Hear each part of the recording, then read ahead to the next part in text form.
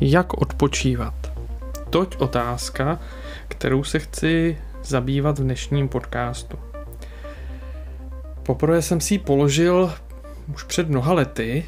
a položil jsem si ji proto, že jsem eh, prožil několik dovolených, několik odpočinkových dní nebo e, nějakých snah o odpočinek, které byly naprosto eh, jaksi neúspěšné. Neúspěšné v tom smyslu, že jsem eh, byl na dovolené, nebo jsem měl nějaký den odpočinku, ale rozhodně jsem se necítil odpočatý. Naopak měl jsem někdy dojem, že jsem na to mnohem hůř než před tím odpočinkovým dnem nebo před tou dovolenou, než jsem byl na začátku. Dokonce se mi stávalo, že jsem třeba i na ty dovolený uh, onemocněl, takže to pak bylo ještě, to ještě, ještě, ještě jako horší. Takže mě to vedlo potom k takové otázce právě, jako co dělám špatně, nebo jak teda odpočívat tak, abych si odpočinul. A tak první věc, kterou chci, na kterou jsem přišel, že uh, jako určitý problém je, jak máme nastavená očekávání. A rozhodně tak to bylo u mě, nevím, možná to může být i u někoho jiného. Co tím myslím? Že můžeme být v nějakém pracovním procesu vypětí a teďka v tom všem náročném, co prožíváme, tak nějak vyhlížíme dovolenou a postupně tam přesouváme všechna své očekávání. Jakože na to, že tam si teprve odpočinu, tam teprve budu dělat to, co, to, to, na co mám chuť, co bych rád dělal, jak bych rád nějak strávil čas. Ale možná, co je ještě složitější, když eh, vyhlížíme tu dovolenou nebo třeba jenom den odpočinku v tom smyslu, že jako vypneme, že přestaneme myslet na všechny ty věci, které musíme řešit, které nás někdy drtí a třeba máme pocit, že už jsme přepracovaní, že už to dále nevydržíme a že už prostě potřebujeme dovolenou nebo dopočinek. No, takže potom vznikne to, že vlastně máme až jako nereálná očekávání od toho odpočinkového času.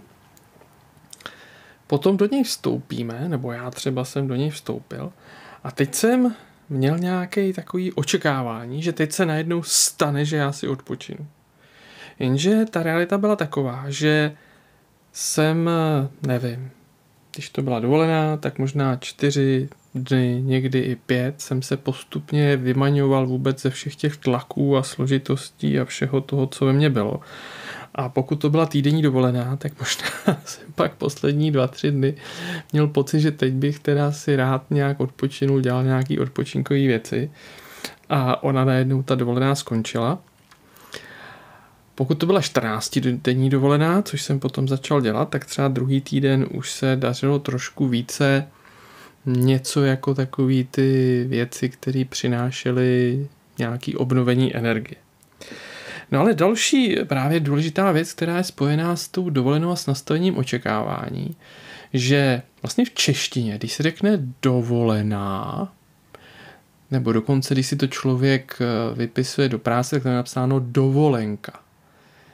Jestli tomu dobře rozumím, tak to je vlastně dovolení k tomu, abych nemusel pracovat. Musím si, musím si jako zažádat o dovolení, abych nemusel pracovat, protože práce to je to, co mám dělat, dovolenka je dovolení, abych nepracoval. No, co je na tom problematický, že když je to jako takhle vnímáno, že je to vlastně jakoby ulejvání se z práce skoro až, tak eh, to taky není asi úplně ideální nastavení, že já si vlastně celou, že jakoby do jisté míry skoro až je, je na té dovolený mám pocit, že konečně se můžu vykašlat na práci, být mimo práci, dovolím si nepracovat. No jo, jenže v tomhle tom taky pro mě byl takový zakuklený červík, že si teda užívám tu dovolenou, že nepracuju a pak najednou skončí a já zase musím pracovat. No, a, takže Potom, když jsem začal přemýšlet, dobře, tak jak odpočívat tak, abych pokud možno na konci odpočinkového dne nebo na, na konci dovolené měl chuť do toho, co nastane teda po té dovolené. Jak bych to mohl udělat? A neříkám, že už jsem to naprosto vyřešil a mám všechno srovnaný, je to ideální. Ale chci se pokusit sdílet nějaké uh, přemýšlení, které mě, mě s tím napadá. Tak uh, za prvé, to očekávání si nastavit, se snažím si nastavit trošku jinak. Totiž tak, že dovolená není dovolená nepracovat a že teda se jakoby vykašlu na práci, teďka budu dělat něco jiného a pak se teda se budu muset vrátit do práce. Spíš se na to dívám tak, že dovolená je jako možnost se tak nějak napojit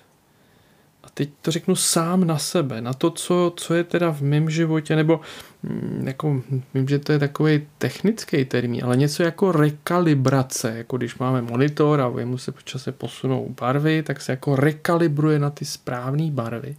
Tak podobně dovolená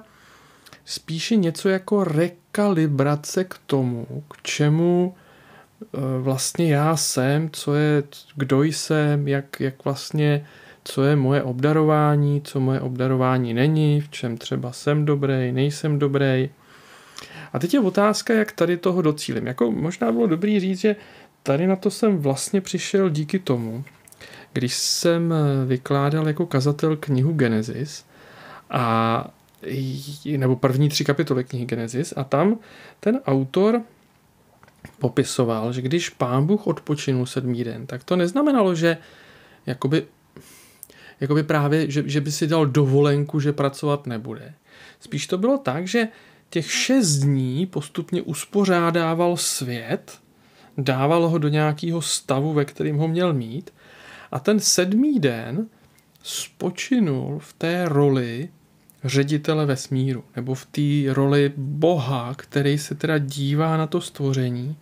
a teďka tedy konečně může dělat to, k čemu si stvořil ten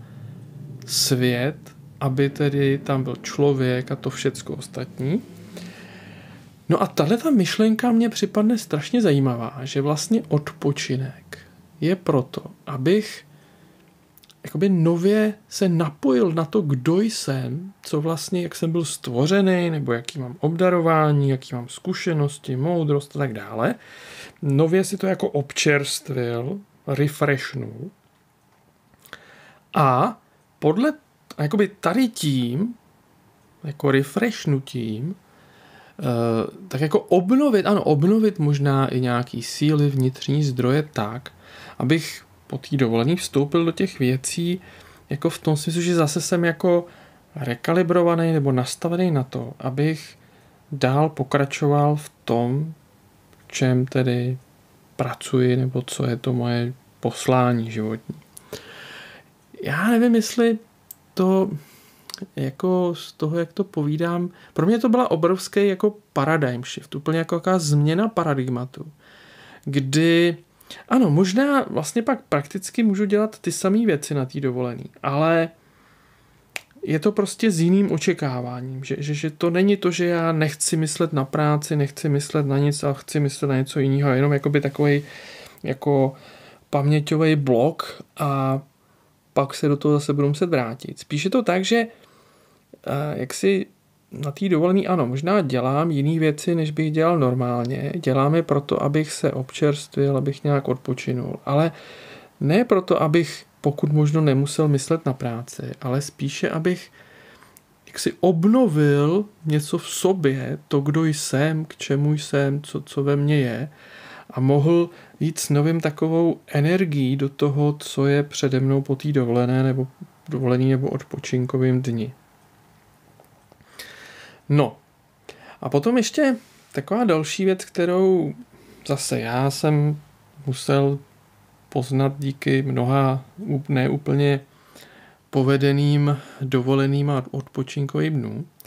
že i vlastně dovolenou nebo odpočinek si potřebuju naplánovat. Totiž, co tím myslím, že když jsem se snažil odpočívat jenom tak, že bude odpočinkový den nebo bude dovolená, no tak já prostě nebudu nic dělat a pak mě něco napadne a něco dělat budu. Tak aspoň u mě to úplně nefungovalo. Já jsem z toho byl vlastně fakt frustrovaný, protože e, vlastně ta pasivita mě úplně nepomohla, abych se cítil občerstvený. Takže jsem si musel nějak udělat nějaký seznam takových věcí, se kterými mám zkušenost,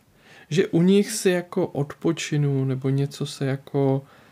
že se jako občerstvím, jo? A jako to se vlastně i časem mění, jestli to je jako podívat se na film, jít na procházku, zasporcovat si, jít do galerie nebo jít do jiné země, jet někam do hor a teďka je otázka, jestli do hor nebo k moři a když k moři, tak kam a co tam pak dělat, jestli hrát třeba deskový hry, když to je s rodinou, nebo jestli jenom číst. Prostě udělat si seznam takových věcí potom je zkusit nějak poskládat a vlastně sledovat, jestli to teda funguje, nefunguje a příště si to když tak přenastavit. Jak říkám, pro mě to už byly během těch, já nevím, 30 let, co to takhle promýšlím, že se to někdy i mění, že, jsem, že někdy fungovalo tohle, pak vlastně příště jsem si myslel, že to zase půjde ono třeba jako v poslední době mi úplně nefungují filmy, že jako já nevím, nějak filmy u nich teďka se mi nedaří odpočívat, takže musím hledat nějaký jiný uh, jako věci, které třeba si naplánuju, které by mě nějak bavily, zároveň bych během ní, díky nim byl nějak něco jako, u mě to furt, jako asi furt to jsou knihy, nějaké procházky, a právě i to, že člověk vypadne z nějakého jako svého prostředí a ne proto, že chce utíct, ale protože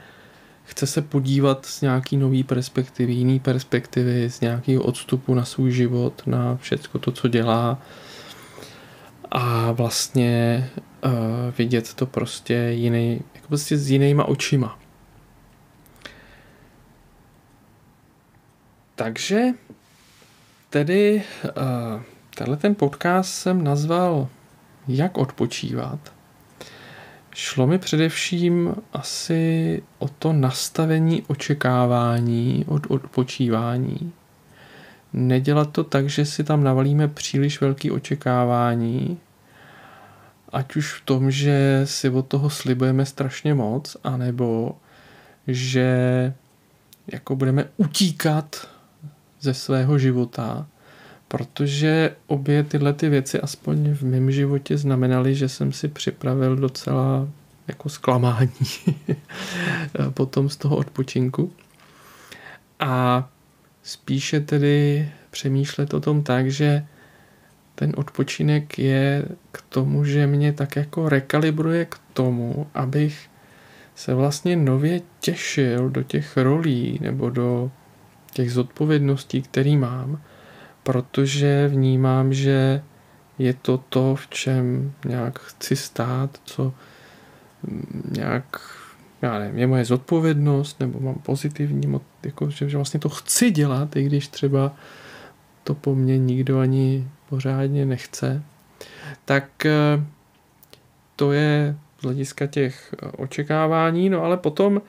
i asi, nebo já nevím, no já prostě dělám i to, že si tak trošku jako plánuju dovolenou, to znamená, že i když, i když jedu třeba někam jinam,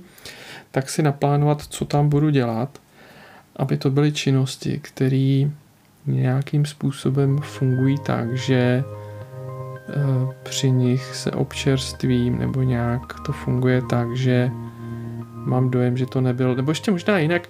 abych neměl pocit, že to byl promarněný čas to je samozřejmě, to je taky takový, že jsem měl dovolenou, jako dovolenou a měl jsem pocit, že jsem to vlastně promarnil. Jako to nejde ani proflákal, ale že jsem, že jsem jako promarnil ten čas nějak mi protek mezi prsty, tak eh, pokud možno, aby tohleto člověk nějak eh, nemusel mít takovýhle pocit dovolený, protože tím si pak přinese do práce ještě mnohem větší frustraci.